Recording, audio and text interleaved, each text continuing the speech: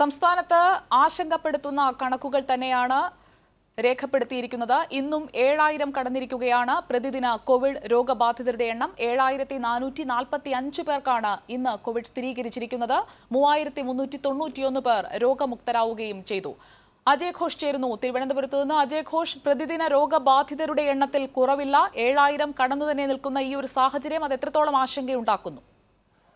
സുജയ വലിയ ആശങ്ക ഉണ്ടാക്കുന്ന കണക്ക് തന്നെയാണ് ഇന്ന് പുറത്തു വന്നിരിക്കുന്നത്. ഇന്നലെ ഏഴായിരം കടം നമ്മൾ ഏഴായിരത്തി ആറായിരുന്നെങ്കിൽ ഇന്നിപ്പോൾ ഏഴായിരത്തി നാനൂറ്റി നാൽപ്പത്തി അഞ്ച് എന്ന് പറയുന്ന ഇതുവരെയുള്ള ഏറ്റവും ഉയർന്ന കണക്കിലേക്കും എത്തിയിരിക്കുന്നു. അതോടൊപ്പം മറ്റൊരു കണക്ക് കൂടിയുള്ളത് ഈ സെപ്റ്റംബർ മാസത്തിൽ മാത്രം തൊണ്ണൂറ്റി ഒമ്പതിനായിരത്തി തൊള്ളായിരത്തി തൊണ്ണൂറ്റൊമ്പത് കേസുകൾ റിപ്പോർട്ട് ചെയ്തിരിക്കുന്നു എന്നുള്ളതാണ് അത് ഏറ്റവും കൂടുതലാണ് ഈ ഒറ്റ മാസം തന്നെ ഉണ്ടായിരിക്കുന്നത്.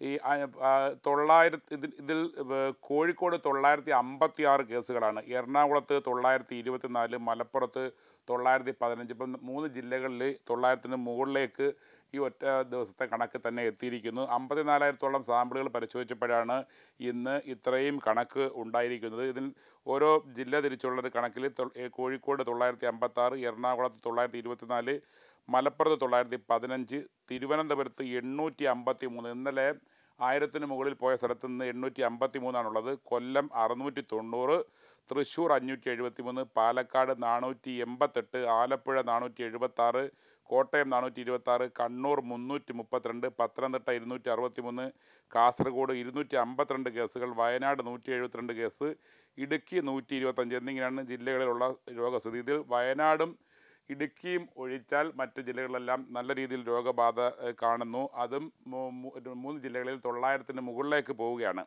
ഇരുപത്തിയൊന്ന് മരണങ്ങൾ ഇന്ന് കോവിഡ് പത്തൊമ്പത് മൂലം സ്ഥിരീകരിച്ചിട്ടുണ്ട്. അത് ഇന്നലെ മൊത്തം കണക്ക് മരണത്തിന് അറുന്നൂറ്റി അമ്പത്താറാണെങ്കിൽ ഇന്ന് ഇരുപത്തി ഇരുപത്തി മൂന്ന് കേസ് കൂടെ കൂട്ടിച്ചേർക്കേണ്ടതുണ്ട്.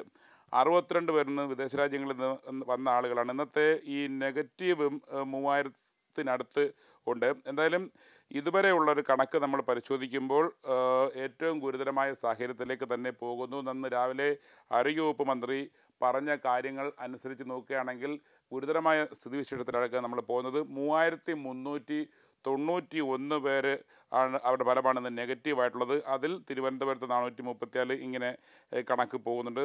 സംസ്ഥാനത്ത് വിവിധ ജില്ലകളിൽ രണ്ട് ലക്ഷത്തി ഇരുപത്തി ഏഴായിരത്തി എണ്ണൂറ്റി മുപ്പത്തി ഒന്ന് പേരാണ് ഇപ്പോൾ നിരീക്ഷണത്തിലുള്ളത്. എന്തായാലും നമ്മൾ ഇതുവരെ ഒരു കണക്ക് പരിശോധിക്കുമ്പോൾ അമ്പത്തിനാലായിരത്തി നാനൂറ്റി തൊണ്ണൂറ്റി മൂന്ന് സാമ്പിളുകൾ പരിശോധിക്കുമ്പോൾ ഏഴായിരത്തി നാനൂറ്റി നാൽപ്പത്തി അഞ്ചെന്ന് പറയുന്ന ഇതുവരെയുള്ള ഏറ്റവും വലിയ കണക്ക് കിട്ടിയിരിക്കുന്നു.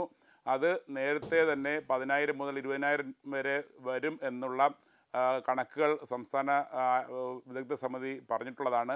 ഏതാണ്ട് അതിലേക്ക് പോയിക്കൊണ്ടിരിക്കുന്നു എന്നുള്ളതാണ് നമുക്കിപ്പോൾ ഇവിടെ പറയാൻ കഴിയുക.